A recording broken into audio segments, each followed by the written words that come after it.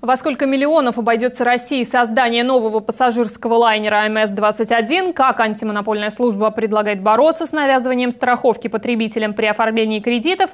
А также почему в области выросло количество самоубийств и попыток совершения суицида среди подростков? Ответы на эти вопросы узнаете из обзора периодических изданий.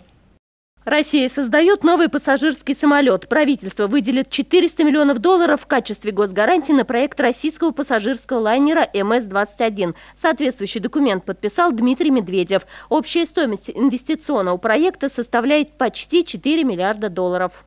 Банкам ограничат доходы от продажи страховок, сообщает все тот же источник. Федеральная антимонопольная служба хочет повысить налоги для банков, навязывающих гражданам потребительское страхование. Специалисты считают, что банкиры стали наживаться на страховании заемщиков. В 2013 году они в среднем получали половину выручки от продажи страховки гражданам, желающим взять кредит. Причем ситуация со страховками в последнее время усугубилась. В большинстве случаев банки просто отказываются выдавать кредит без оформления страховки ошибки. ФАС рассматривает несколько вариантов борьбы с таким навязыванием. Подробнее читайте в свежем выпуске «Российской газеты».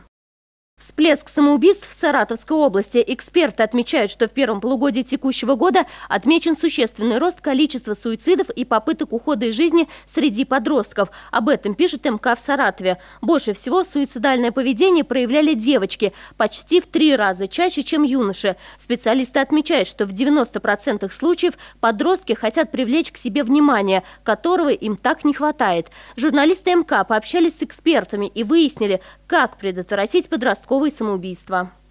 Расплата за отопление станет ежемесячной, сообщает все тот же источник. Те, кто раньше платил авансом, то есть и летом тоже, с 1 сентября будут оплачивать только в холодный период, месяц за месяц. Как вернуть деньги, которые переплатили за тепло, корреспондентам МК в Саратове рассказали эксперты. О жизни звезд расскажет журнал «Теленеделя». Антония Бандерас и Мелани Гриффит расстаются. Их роману, начавшемуся в 1995 году, отводили максимум 6 месяцев. Антонио и Мелани прожили вместе 18 лет. Но в начале июня и эта голливудская сказка подошла к концу.